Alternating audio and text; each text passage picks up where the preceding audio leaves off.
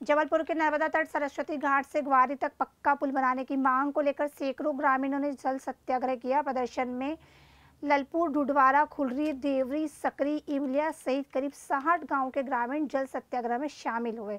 प्रदर्शन में पहुँचे ग्रामीणों की मांग है कि सरस्वती घाट के गांवरी के बीच यदि पक्का पुल बनता है तो क्षेत्र का समुचित विकास कर सकता है।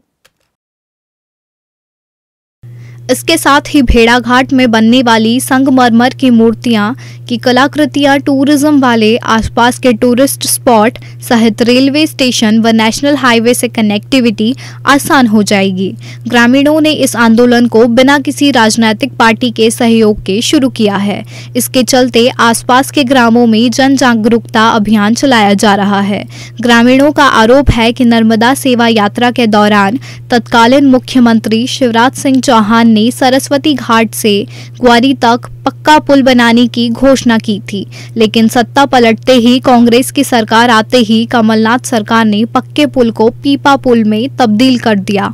वहीं ग्रामीणों का आरोप है कि बरगी विधानसभा में आने वाली गरीब जनता के साथ दोनों सरकारें छलावा कर रही हैं।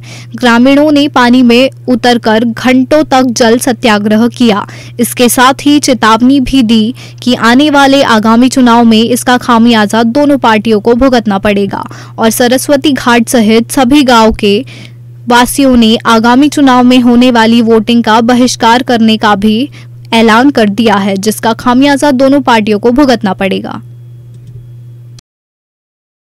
हम लोगों का मुख्य उद्देश्य है कि हमारा जो क्षेत्र है वो पूरी तरीके से पिछड़ा हुआ है। और यहाँ पे जो है ना, यहाँ पे जो नज़दीक में कम से कम दस गाँव लगे हैं। और यहाँ से पूरा आदिवासी बाहुल क्षेत्र सीधा जुड़ा हुआ है, जिसको कि, जिसकी कनेक्टिविटी टूटी हुई है। हम लोगों को चाहे वो कोर्ट के काम हो या स्टेशन हो, या फिर हम लोगों को अपने राजस्व के काम हो, या फिर हमारा ब्लॉक हो शेपुरा है तो जाने आने में बहुत वो असुविधा होती है। शिक्षा के क्षेत्र में भी इस क्षेत्र के लोगों को बड़ी असुविधाओं का सामना करना पड़ता है।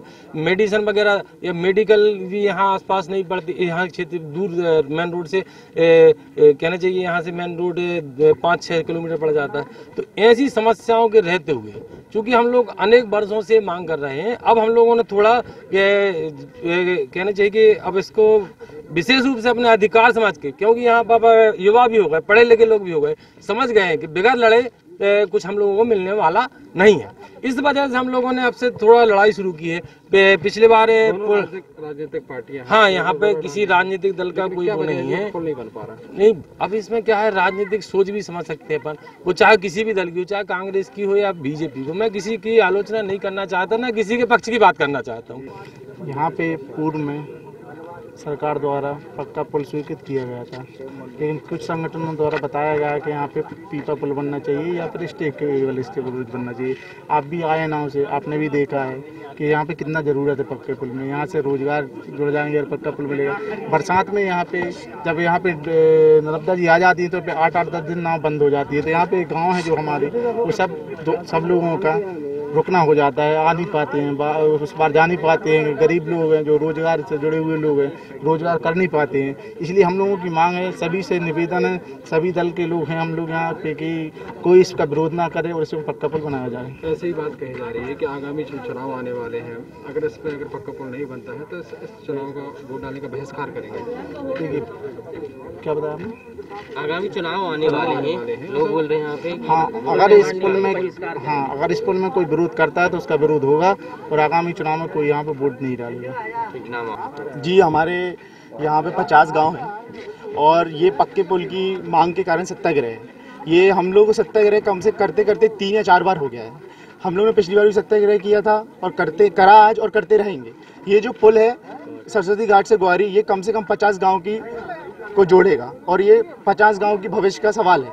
आज हमारे साथ जनता में युवा महिलाएँ सारे कोई जुड़े हुए हैं। इन सब के भविष्य का सवाल है। और हमें सिर्फ़ इसलिए जुड़े हैं आज यहाँ कि चाहे वो शासन हो चाहे प्रशासन हो चाहे नेतागण हो हमारी सबसे हाथ जोड़ के प्रार्थना है कि हमारे इस पुल को बनने दीजिए। जो कि शासन द्वारा दसों साल से सेंक्शन हो चुका है फिर किसी न किसी कारण से ये विफल होता रहता है और बनता नहीं है। तो क्या वजह मानते हैं कोई राजनीतिक मैं वजह ये मानता हूँ हो सकता है मैं किसी का नाम ही लेना चाहता हो सकता है राजनीतिक हो हो सकता है ये किसी का मंशा ना हो हो सकता है लोग सोचते हो कि इधर बनने से पुल यहाँ किसी चीज़ की हानि होगी। तो मैं बता देना चाहता हूँ, यहाँ किसी चीज़ की हानि नहीं होगी। ये सिर्फ़ एक मिट्टी का पहाड़ है और एक वो मिट्टी का पहाड़ है। इन दोनों को जोड़ना है और जनता का भविष्य है। और एक छोटा सा तर्क की बात करना चाहता हूँ, उनके लिए जो ये सोचते हैं कि यहाँ पर कुछ बनने से नुकसान होगा तो ये छोटा सा टापू है 800 गाँव का भेड़ा घाट यहाँ दो कंक्रीट पुल से जुड़ा हुआ है, अगर आप देख सकते हैं तो वो है। तो दो कंक्रीट पुल से अगर आप 800 लोगों को जोड़ सकते हो तो एक छोटे कंक्रीट पुल से आप तीस हज़ार जनता को जोड़ सकते हो।